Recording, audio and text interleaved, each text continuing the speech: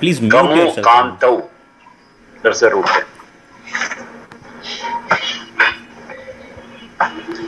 that Shanti means brightness and desire. That's what it means. Kamo Kantav. Brightness and desire. कामयते verbal form कामयते काम्यते that is also another verbal form काम्यते कामयते काम्यते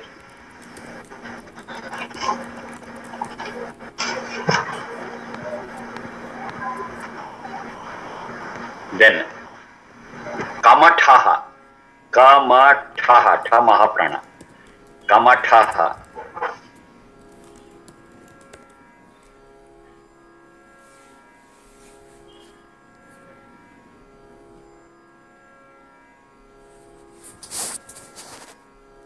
that which desires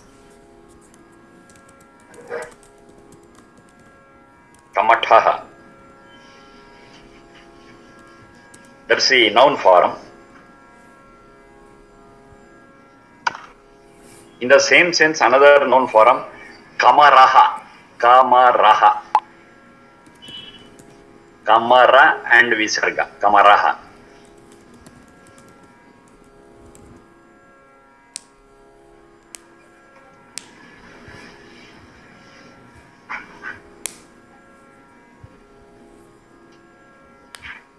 Another one.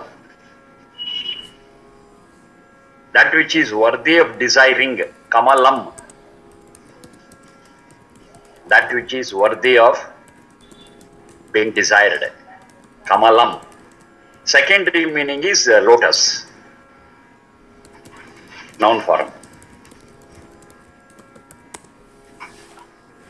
Anything which is worthy of being desired is kamalam.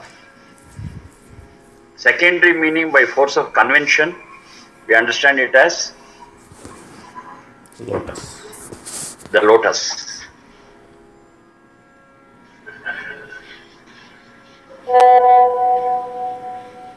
Kambalaha. Kambalaha. The one which is sought after. Kambalaha.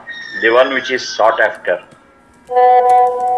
Secondary meaning is that rug which you use during winters to protect ourselves from the cold.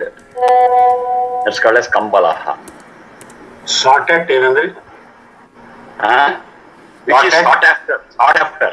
ಯಾವ್ದ್ರ ಹಿಂದೆ ನಾವು ಹೋಗ್ತೀವಿ ಯಾವ್ದರ desire ಮಾಡ್ಕೊಂಡ್ರ ಹಿಂದೆ ಹೋಗ್ತೀವೋ ಅದು Kambala Kambala noun farm ಈ ಚಳಿಗಾಲದಲ್ಲಿ ರಗ್ ಹುಡ್ಕೊಂಡು ಹೋಗ್ತೀವಲ್ವಾ ಸೊ ಈಗ search for a rug during cold season There is a secondary meaning. There is not the primary meaning, secondary meaning. This I have been telling you.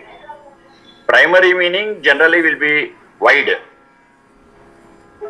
Whereas the secondary meaning, it is on the basis of the usage and convention. Secondary meaning is okay. But the secondary meaning, we are taking it only after the primary meaning. Primary meaning is directly related to the meaning of the root kambalaha kambuhu kambuhu the meaning of this is one who desires others wealth again the desire element is there. One who desires others wealth. So that's not legal. That's not just so such a person is called as kambuhu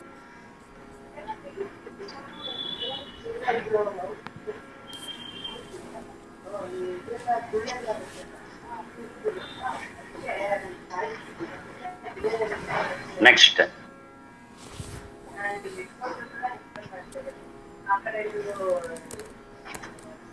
कृ विक्षेपे कृ विक्षेपे दीर्घ shape.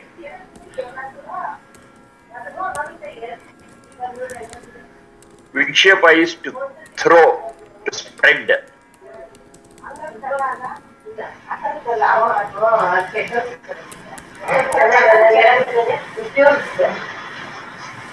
so it's like throwing uh, uh a few seeds and just throwing like this to spread, to throw.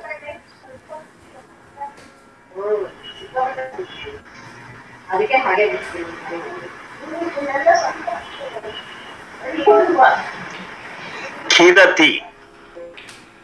Kirati, noun form as a verbal form. Kirati.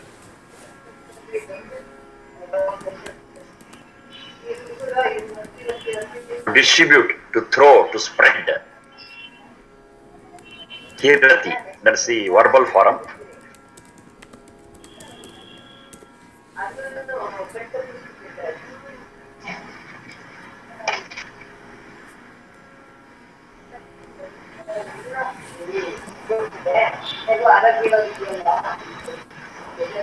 Kiriyate, another verbal form. Kiriyate.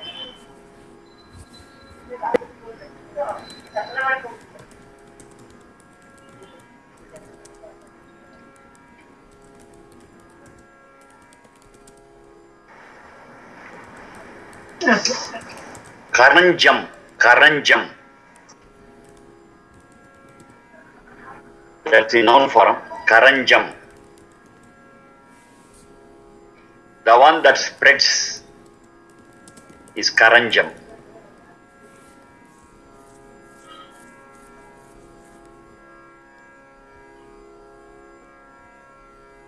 Karataha, another noun form. Karataha.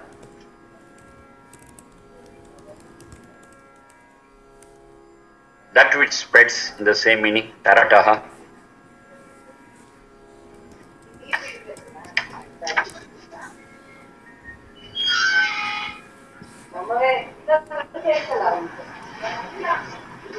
Karabhaha, another noun form. Karabhaha.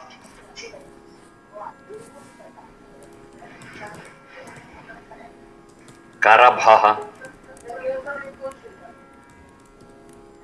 Once again, that which spreads, that which distributes, Karabhaha.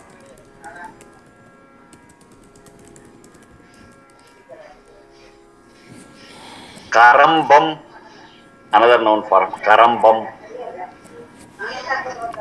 Semining, Karambong,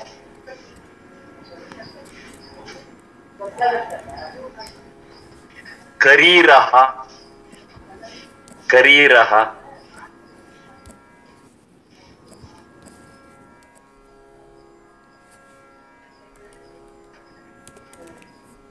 करीशः करीरः वा करीरः yes yes. करीर next one is करी शाह शाह is मूर्धन्य second शाह शाह शाह करी शाह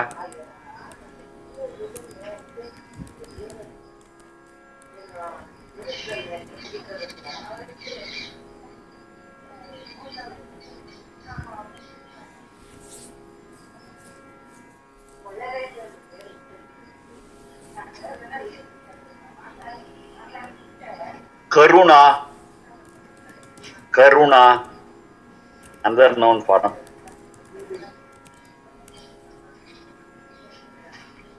That which that which throws away unwanted things. Karuna, that which throws away unwanted things. That's nothing but this uh, secondary meaning is mercy. Hmm. So all unwanted things and prejudices are thrown out. So they are all thrown out, what results is love, mercy, karuna.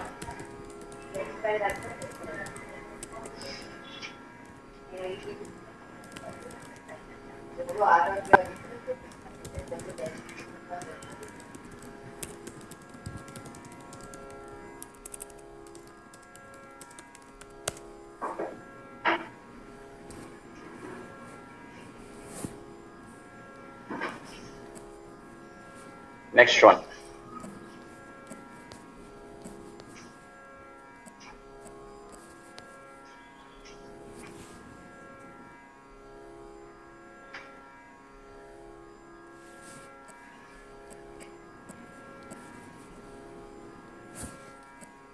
Karvaha. Karvaha. Noun form.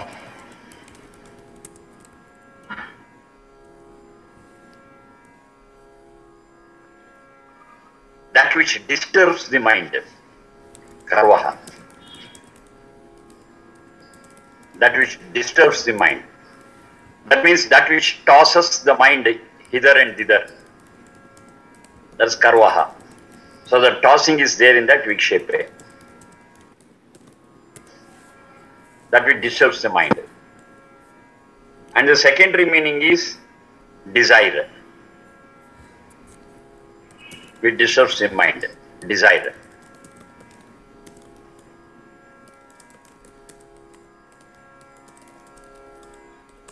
Another noun form karvaraha. Karvaraha. Sharma ji, Yes, please. uh, Karvaha is not uh, pride, is it? Pride. Is not a Pride. pride. Pride. uh, no, it is which uh, throws the mind this way and that way. That's that it disturbs the mind. Astu. Uh, pride also can be taken as a secondary meaning because that's also one which disturbs our mind. You can take it. Desire, pride, you can take it, but as a secondary meaning. The basic thing is that which uh, throws the mind this way and that way, tosses it. It disturbs. That's the primary meaning. Pride also can be taken as a secondary meaning, no problem. Because of course pride disturbs one's mind. Karvaraha.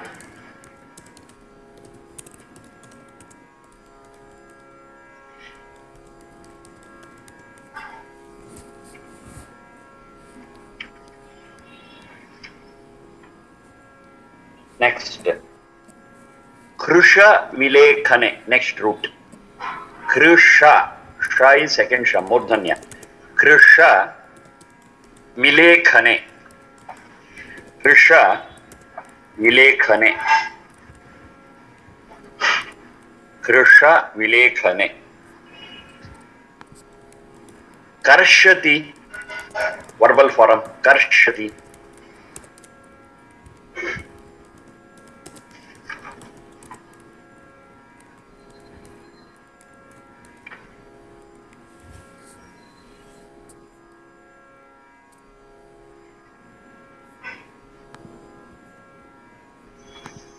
Karshuhu. Karshuhu, noun form. Karshuhu.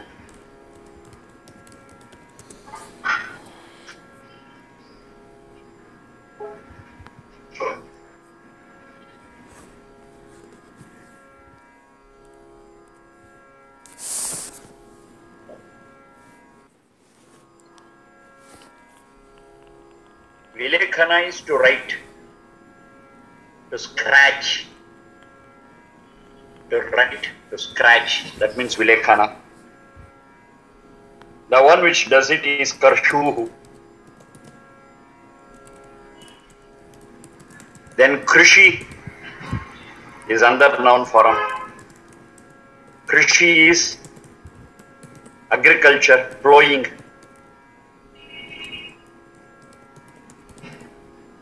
we take the plow and scratch the earth during agriculture. So Krishi, the one where we scratch.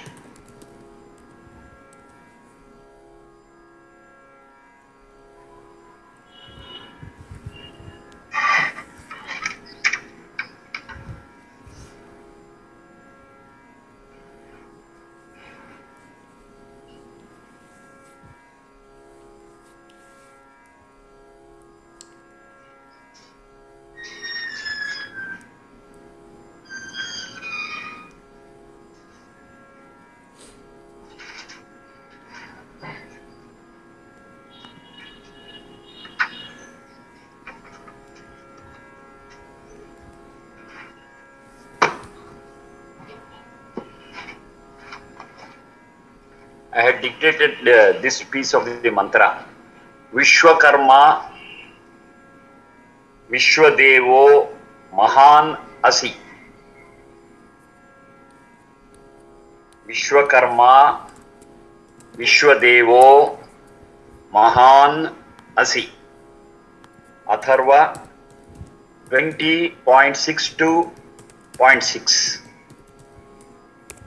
20.62.6. So this is addressed to Sachidananda. O Sachidananda, you are Mahanasi, you are great. Sachidananda, you are great, Mahanasi. And what is it that makes Sachidananda great? Two things. Vishwakarma, Vishwadevo, Vishwadevaha. Vishwakarma Vishwadeva. These two are the features of the quality of the Sachchidananda which makes it great Vishwakarma you are creator of all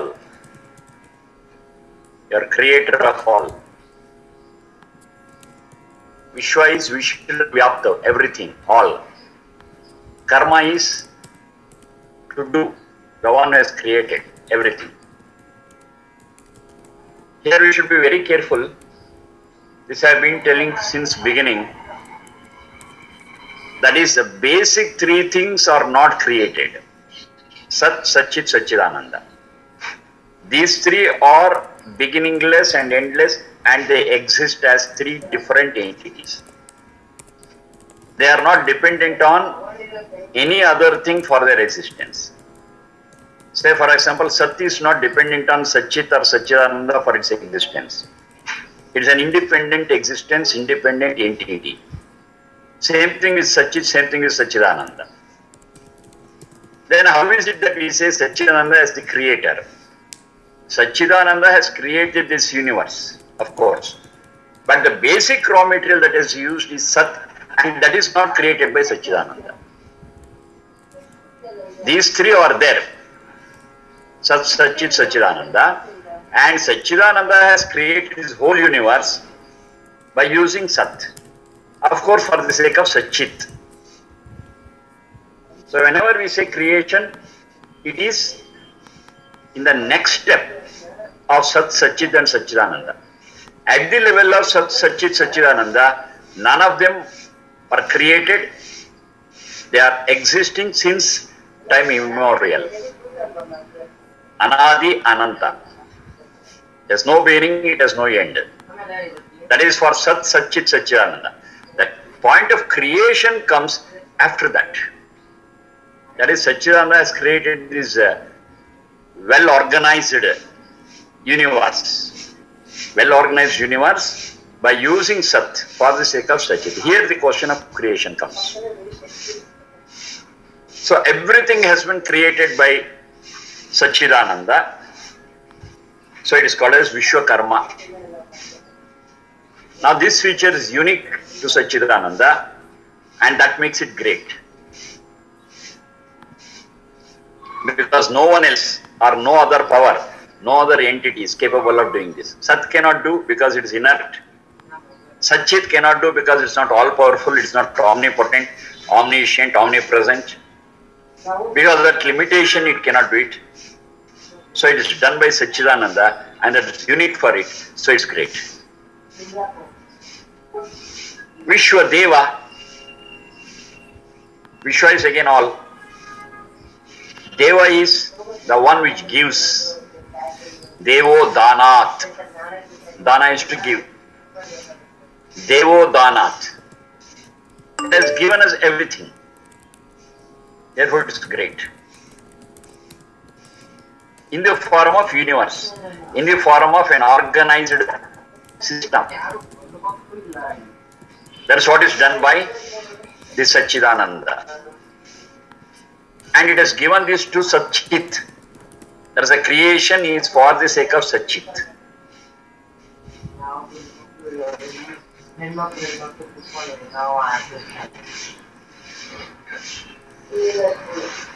So for Satchit, whatever is needed has been given by Satchidananda. A system of birth and death, a karyakshetra.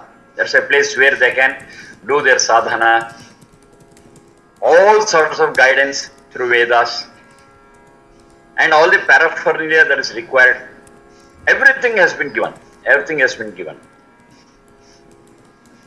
For sustenance, water, air, land, fire, forests.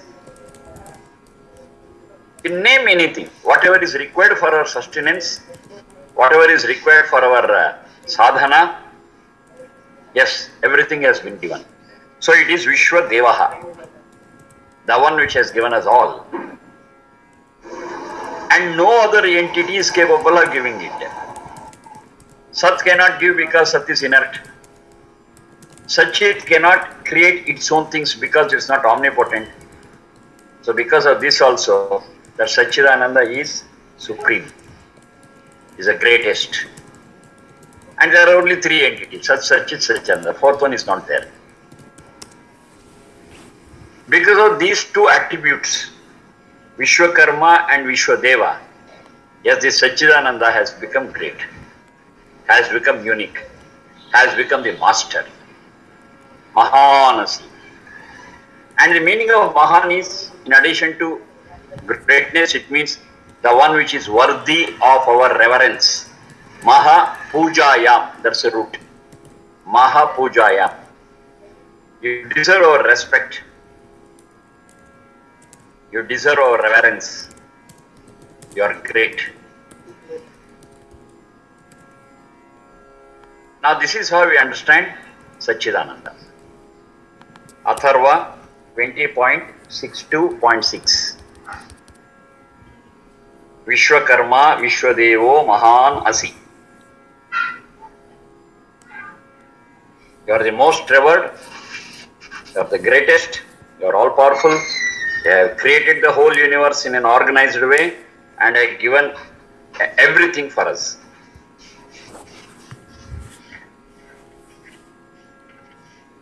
Next one. Vrishchami. Vrishchami. शत्रुणाम। पृश्चामि शत्रुणाम। बाहून। शत्रुणाम बाहून। अनेन। हविषामहम। अनेन हविषामहम। वृश्चामि शत्रुणाम। बाहून अनेन। हविषामहम्। हविषामहम्। पृच्छामि वा वृश्चामि वृश्चामि V R U S H C H A A M I R M Y पृच्छामि शत्रूणां बाहून् अनेन हविषामहम्।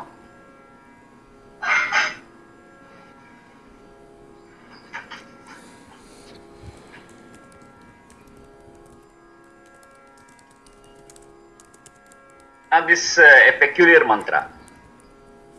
That is, if I study this mantra independently, it gives wrong signals.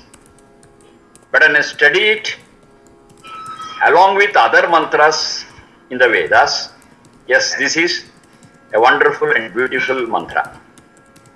Now what does it say? Let me see. Shatrunam Bahun the limbs of enemy of an enemy. The limbs of an enemy.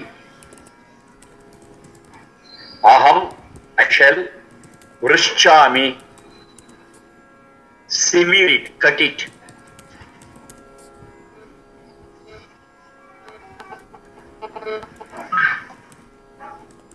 i shall cut I shall sever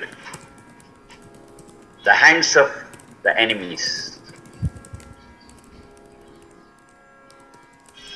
So it is uh, violence, cruelty to cut the hands of an enemy. That is, if I study it independently, that's the meaning what I get. But when I understand it in light of or in coherence with other mantras, yes, there is no violence in this. Because at every juncture, Vedas prescribe friendship, prescribe peace, prescribe maitri, prescribe non-violence. So we cannot understand this in the light of violence. You have to understand it in totally different way because there's a basic concern of the Vedas. That is friendship and love. Now Vrishchami, that is Vrishcha Chedane, that's the root. Vrishcha Chedane. Vrishcha Chedane. Chedana means to cut, to sever. And from the same root has come the word of vriksha. Vriksha, you are familiar? That's a tree. Why it is called as a tree? Because it is cut down. Maybe the branches, maybe at one point on the whole tree. Because it is subject to cutting, it is called as vriksha. पृच्छामि शत्रूणां bahun in the previous uh, reference i told you shatru doesn't mean my enemy. It is not subjective. Because if i say x is my enemy for x i am the enemy. So whatever i prescribe to the enemy the same shall be prescribed to me also. So here it is not enmity between individuals. It is the anti-social element we are speaking of, enemy to the society. A person who harms the people in society, the anti-social element, he is called as Shatru, not individualistic. It is not subjective, but it is a bit wider in meaning. Bahun, the limbs, the hands. So the antisocial elements, hands, I shall cut, I shall sever. Now this is figurative oh. in nature. It is figurative. They are not supposed to be the direct meaning because nowhere in Vedas, in all other places, they prescribe violence. No, they don't do it. They always speak of non-violence. So in that light, I have to understand this as a figurative usage. That is, whatever facility they have got, whatever infrastructure they have got, that is their limbs. That infrastructure is their limbs. So those infrastructure which is established by antisocial elements, I should demolish them.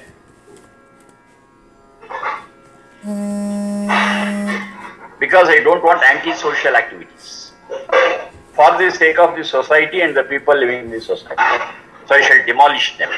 So I shall demolish them, I shall cut them, I shall destroy them. Yes, that's the meaning what we have to take.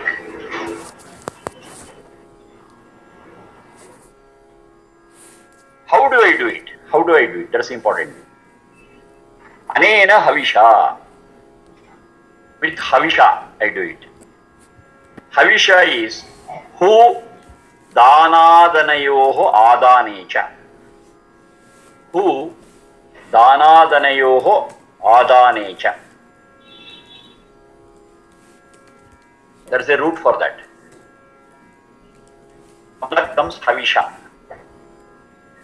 so with this havisha as a tool i shall do this now what is this uh, who who danadanayo who danadana adanecha dana is to give Adana is to take. Adana is to consume.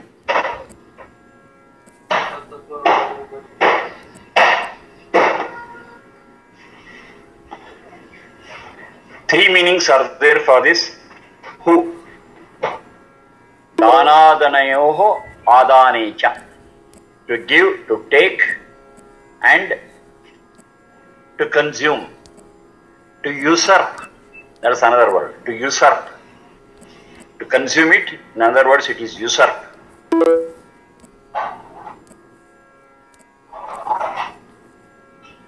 Now, the infrastructure what the antisocial elements have got shall be destroyed by any one of these methods or all the three.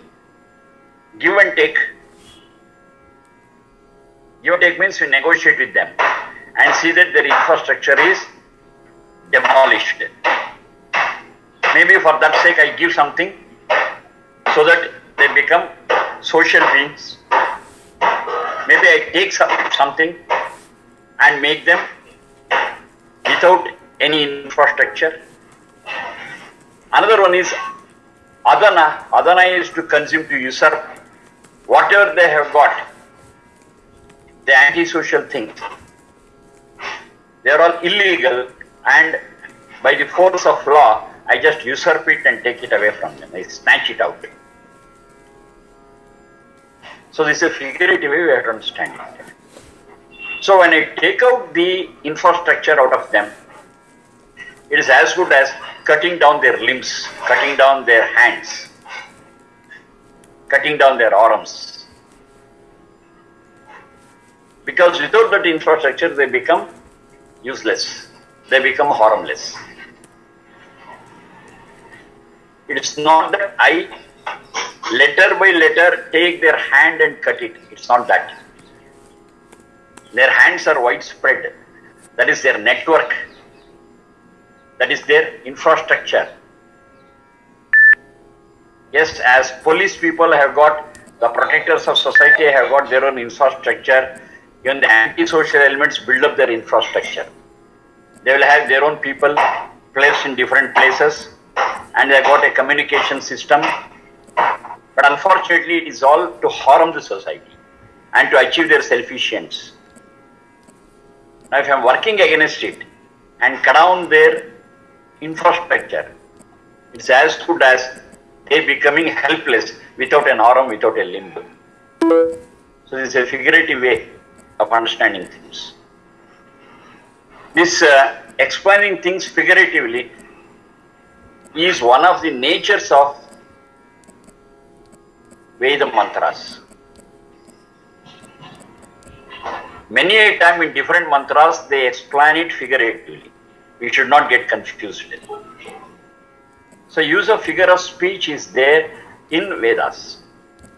So where it is there, where it is not there, yes, we have to apply our discrimination and study it as one full picture.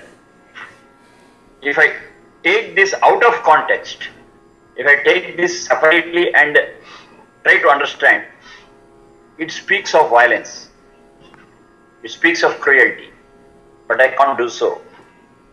Out of context, I should not do it. Within the context, with reference to the context, I have to understand the meaning of it. And of course, in support of, in support with several other Veda mantras. So even though the person is an antisocial element, we are trying to educate them and bring them onto the line, bring them onto the mainstream and make them part of the society. We are not killing them, we are not harming them. If punishment is required, of course we give it. But the purpose of giving that punishment is to enlighten them and to bring them to the mainstream. This we have to understand very clearly. So this meaning or this understanding we can have only when we study it with reference to the context, number one. Number two, in tune with other Veda mantras, which prescribe friendship, love, brotherhood, and non-violence. Then things will all fall in line. वृश्चा शत्रुण बाहून अनेन हविषाहम हविष is to give to take and to usurp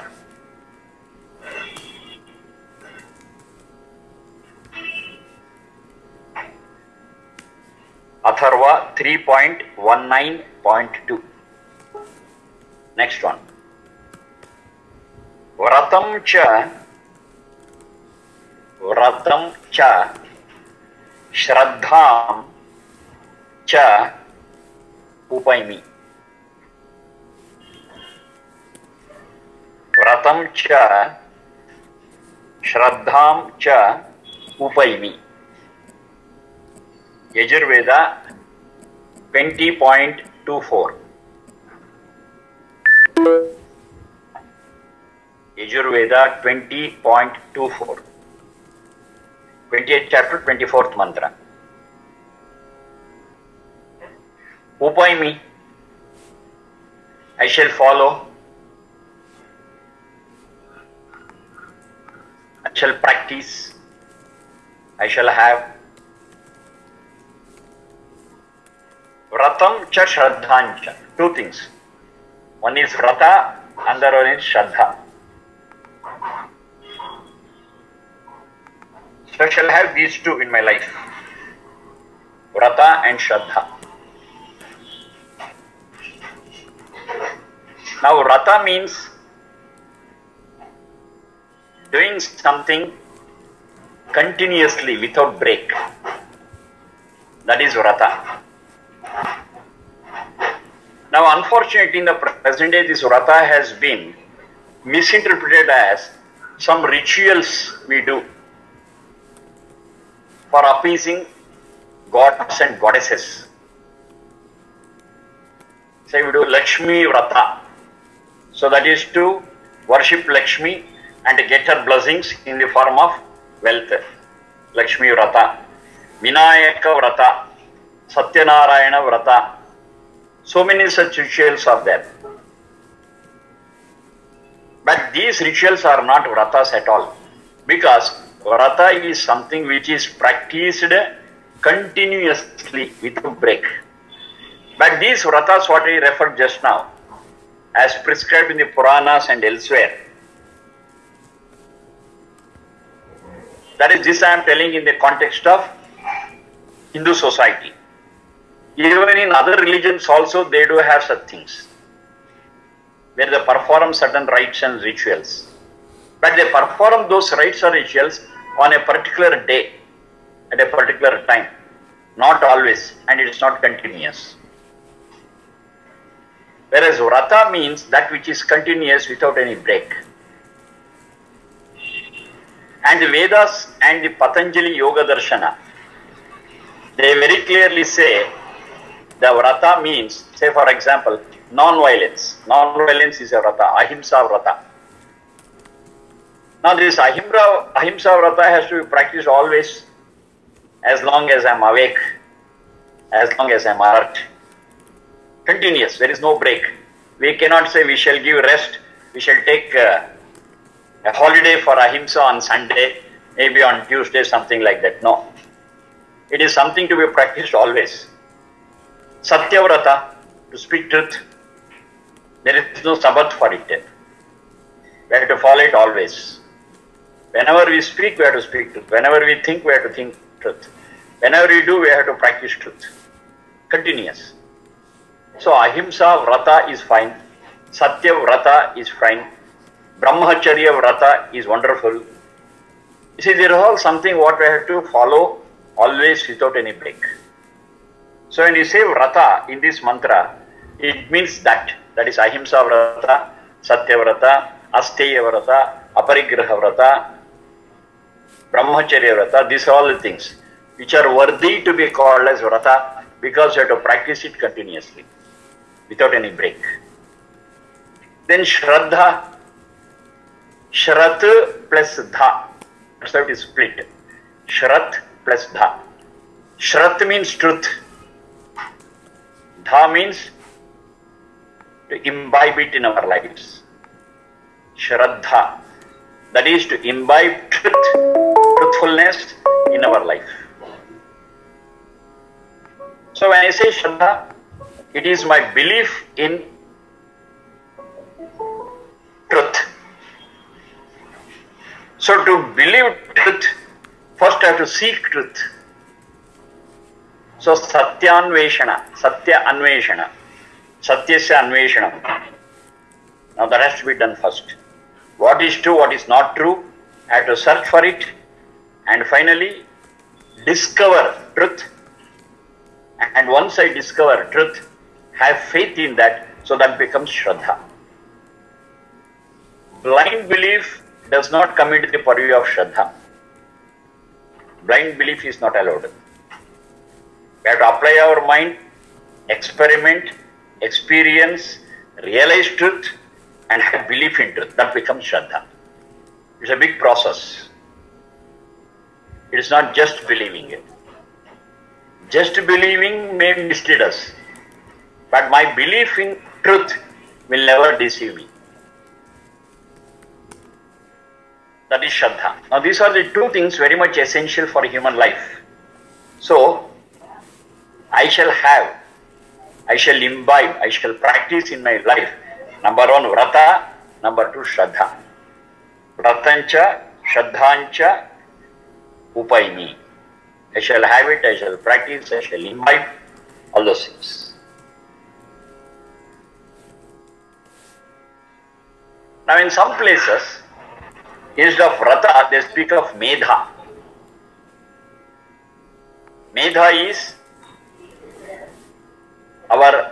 capacity to discriminate, our capacity to discover, our capacity to experiment, experience. That's called as Medha.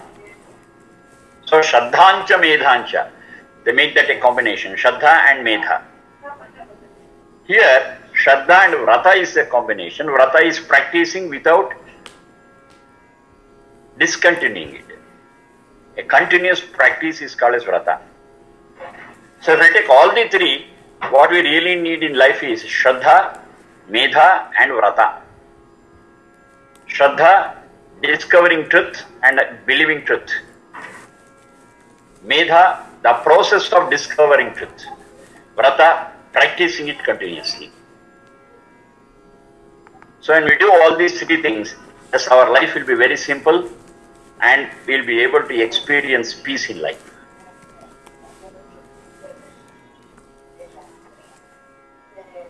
Vratancha, Shraddhancha, Upaimi. Medha is also there in several other places.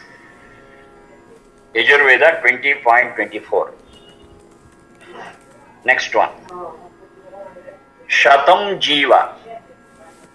Shatam Jiva. Sharado. Shatam Jiva Sharado Vardhamanaha.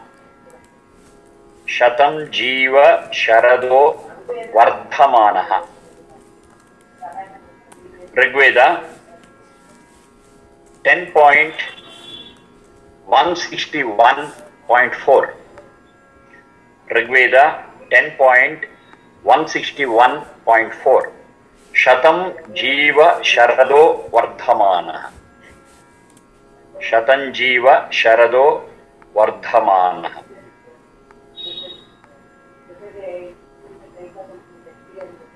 live for 100 years. Sharat is one of the seasons which is or which represents an year because the season will come once in a year. So 100 Sharad Rutus means 100 years.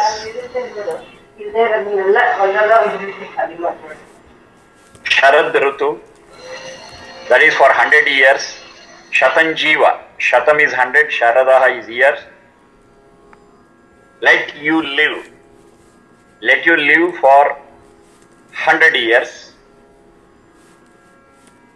Vardhamanaha, continuously progressing. Let your life progress continuously.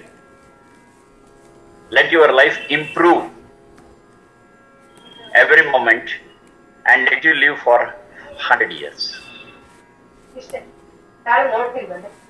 Now, 100 is not the maximum, it's not a ceiling. Several other mantras it says 100 and beyond. 100 and beyond. So, live for 100 plus beyond years. Now, that meaning is not there in this piece of the mantra, but it is elsewhere, which you have to take it along with this. So let us live for 100 years and beyond 100 years. And these 100 years is not just living, but it is a continuous progressive living. Vardhamana. A progressive living. And this progress is mainly spiritual. Other progresses are also there. The main thing is spiritual. Let you live for 100 and beyond years, continuously progressing spiritually. That's the ultimate meaning of this. Here, the spiritually is not here, beyond 100 is not there. But this we find in different other mantras, so I have taken it here also. Let you live for 100 and beyond years, continuously progressing. Continuously progressing. शतंजीव शरदो Varthaman. Generally this piece of sentence is chanted by elders when younger people prostrate before them as a blessing it's a blessing given by the elders to the younger people it's a wish they have शतंजीव शरदो वर्धमान Another very important thing is just by blessing, things will not happen. Even with my wholeheartedness, I bless, it will not work out. Whatever I have blessed, in accordance with that, the younger people have to live, practice. And as elders, we have to guide them at every step. Then the things will happen. Then the results will come. If I don't do it, say I just go on blessing and blessing, and they lead their own way of life, then the whole blessing becomes useless. It will have no effect, no results can be obtained. The one who blesses commits himself that to achieve this, yes, I am with you always, I give you all sorts of support. So that commitment is there. Then the blessing becomes powerful. And the younger generation who are blessed, they have to practice, they have to take it to their heart, the guidelines given by the elders. Now, when both things match, yes, this blessing becomes a reality. So, for the blessing to be reality, there is a lot of responsibility on the part of the one who is blessing and also on the part of the one who is blessed. So, that commitment is not there on these two sides. This blessing is an empty blessing. Nothing will happen. So, to make this blessing a reality, both have to discharge their responsibilities and their duties. Then things will happen. Anywhere, any blessing for that matter. Say we bless a couple, we wish you a happy married life. That will not give the result. The one who is blessing should take the commitment upon them that for you to be happy, whatever guidance and support is required, I will give. And from the other side, who are blessed, they have to say, okay, whatever guidance you give, we shall take it and practice it. Yes. Now, wish you a happy married life becomes a reality. Many happy returns of the day. Fine, blessing is good. But when it will become a reality, only when one is blessing and one is blessed take upon them the commitment. Yes, it will work. Any blessing for that matter, that is we call it as Ashirvada. This Ashirvada becomes meaningful, becomes a reality only when the two parties inordinate, the one who is blessing, the one who is blessed, take upon them certain responsibilities and work for it. So this is a very, very important thing. And Ashirvada is not just words, it's not just certain uh, words uttered. No, that that will not have no effect. That will have no effect. You have to think a while and understand that it is a commitment on both sides. And when commitment is satisfied, yes, it becomes a reality. The blessing becomes a reality. Next one. Shivo Bhava, Shivo Bhava, Prajabhyaha. शिवो भव प्रजाभ्यः यजुर्वेद 11.45 शिवो भव प्रजाभ्यः Fine, we shall discuss about it in the next session. Thank you very much.